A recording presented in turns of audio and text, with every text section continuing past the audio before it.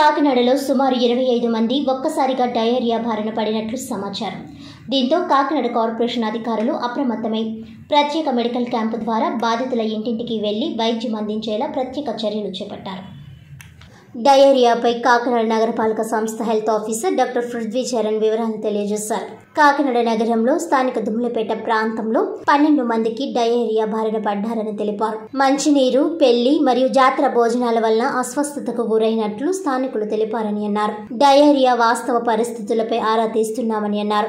Diarrhoea బాధితులకు ప్రత్యేక medical క్యాంపుతో పాటు ముగ్గురు డాక్టర్లు ఎనిమిది మంది ఏఎన్ఎంలు పది మంది ఆశా వర్కర్లను చికిత్స నిమిత్తం అందుబాటులో ఉంచడం జరిగిందని స్పష్టం చేశారు. అలాగే కాకినాడ ప్రభుత్వ ఆసుపత్రిలో కూడా పలువురిని చేర్చడం జరిగిందని డయేరియా బాధితులకు ప్రస్తుతానికి ఎటువంటి ప్రాణాపాయం లేదన్నారు.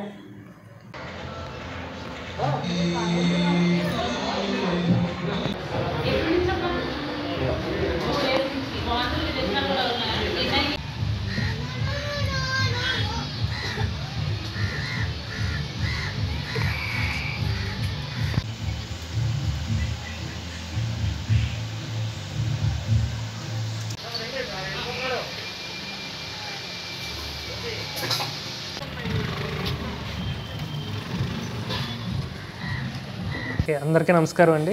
ప్రజెంట్ మనకి దుమ్ములపేట ఏరియాలోని కొన్ని డయేరియా కేసులు నమోదవడం జరిగింది. అంటే అవుట్ బ్రేక్ అని చెప్పేసి అంటున్నారు. దానిపైన మన మున్సిపాలిటీ తరఫున అదేవిధంగా district medical and health DMHO గారి సైడ్ నుంచి కూడా అక్కడ యాక్టివిటీ స్టార్ట్ చేయడం జరిగింది. మనకి నిన్న మార్నింగ్ నుంచి న్యూస్ రావడం జరిగింది. అంటే కొంతమంది ఇలాగ డయేరియాతో ఇబ్బంది పడుతున్నారని తెలిసింది. నిన్న ఈవినింగ్కి మనం అక్కడ సర్వే చేయగా ఒక ఎయిట్ కేసెస్ వరకు నమోదయ్యాయి. ఈరోజు మార్నింగ్ ఫర్దర్గా కంప్లీట్ సర్వే చేయడంతో అక్కడ నియర్లీ ఒక పన్నెండు కేసుల వరకు కూడా మనకి ఉన్నాయని చెప్పి తెలిసింది. సో ఇమీడియట్గా అక్కడ మనం మెడికల్ క్యాంప్ ఒకటి కండక్ట్ చేయడం జరిగిందండి. అక్కడ ఉన్న పదో పదో వార్డు సచివాలయం ఆపోజిట్లో ఉన్న అంగన్వాడీ సెంటర్లో మనం మెడికల్ క్యాంప్ కండక్ట్ చేయడం జరుగుతుంది. అక్కడ ఒక ముగ్గురు మెడికల్ ఆఫీసర్స్ ఒక ఎనిమిది మంది ఏఎన్ఎంస్ అదే ఒక పది మంది ఆశాలు అండ్ స్టాఫ్ నర్సులను అక్కడ డిప్యూట్ చేయడం జరిగింది. మన డిఎంహెచ్ఓ ఆఫీస్ తరపు నుంచి డిపిఎంఓ గారు డాక్టర్ శ్రీనివాస్ గారు దీన్ని అక్కడ అంతా కూడా మా మానిటరింగ్ చేయడం జరుగుతుంది. అండ్ ఎవరన్నా సరే ఒక ప్రజెంట్ ఈ డైరియా దీంతో ఇబ్బంది పడుతూ ఉంటే కనుక దయచేసి ఆ సెంటర్ దగ్గర సంప్రదించండి. మీకు అన్ని సౌకర్యాలు కూడా అక్కడ మనం అరేంజ్ చేయడం జరిగింది. ఒక పక్క మెడికేషన్ కానివ్వండి లైక్ ఐవీ ఫ్లూయిడ్స్ ఎక్కించడం అన్నీ కూడా అక్కడ మనం చే చేస్తున్నాము. ఫర్దర్గా ఇంకా ఏమన్నా క్రిటికల్ ఉంటే కనుక ఇమీడియట్గా మనం జీజీహెచ్ కూడా రిఫర్ చేస్తాం అక్కడి నుంచి. అండ్ నిన్న మనం ఒక జీజీహెచ్ నుంచి మనకు వచ్చింది ఏంటంటే అక్కడ ఒక రెండు కేసులు అక్కడ అడ్మిట్ అయి ఉన్నాయని చెప్పి తెలిసింది మార్నింగ్. ఆ రెండు కేసులు కూడా చాలా స్టేబుల్గానే ఉన్నాయి. వాళ్ళని కూడా ఈరోజు ఈవినింగ్ కల్లా మనం డిశ్చార్జ్ చేస్తారని చెప్పాను.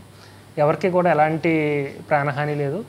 అండ్ అందరూ కూడా స్టేబుల్ కండిషన్స్లోనే ఉన్నారు. ఇప్పుడు వరకు ఉన్న పేషెంట్స్ అందరూ కూడా దీనికి ఎగ్జాక్ట్ ఫోకే అంటే కారణం ఏంటి అన్నది మనం ఎగ్జా ఎగ్జాక్ట్గా చెప్పలేకపోతున్నాం. అంటే దానికి గల ముఖ్య కారణం ఒక్కొక్కరు ఒక్కొక్క రీజన్ చెప్తున్నారు. కొంతమంది ఏదో కొన్ని మ్యారేజెస్ అటెండ్ అయ్యామని చెప్తున్నారు. కొంతమంది ఏదో ఒక టెంపుల్లోని భోజనాలు గంట తీసుకున్నాము.